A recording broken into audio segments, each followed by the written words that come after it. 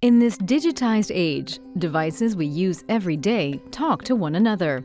Our smartwatches talk with our mobile phones, which talk to our cars and various other devices. Having devices that automatically and seamlessly communicate helps us utilize information efficiently. Device connectivity, which harnesses the power of the Internet of Things, has changed our lives and revolutionized industries. At Draeger, we believe that expanding the connectivity capabilities of medical technologies is about to revolutionize healthcare. Today, relatively few medical devices are connected, since communication protocols often differ from one manufacturer to the next.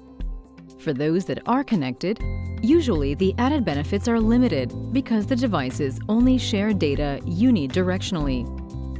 The lack of a comprehensive standardized communication approach for medical devices restricts the technology's ability to deliver additional clinical value. But this is changing now. A new international industry standard, Service-Oriented Device Connectivity, widely known as SDC, promises to harmonize the communication protocols of medical technologies. SDC is issued by the IEEE and the International Organization for Standardization, organizations leading in the standardization and application of principles like wireless LAN and Bluetooth worldwide.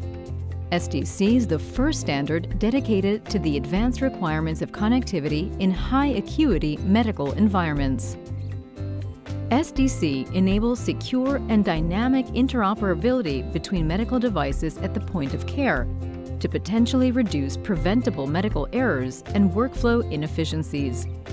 The data transmission is bidirectional, even allowing SDC-capable devices from different manufacturers to interact. Since patient data transmitted via SDC is medical grade, it can be used by therapy devices to enhance clinical capabilities and by clinicians to make timely care choices. Security principles, like end-to-end -end encryption, ensure that patients' personal data is kept secure.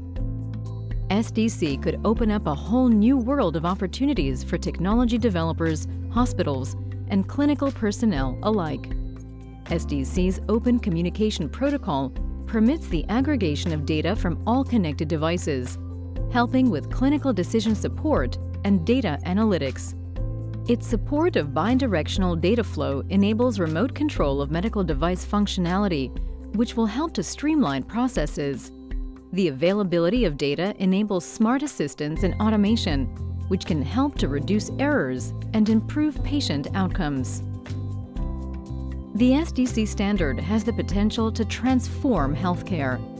With connected devices and the Internet of Medical Things, SDC should enhance the ability of providers to do their job safely, efficiently, and cost-effectively.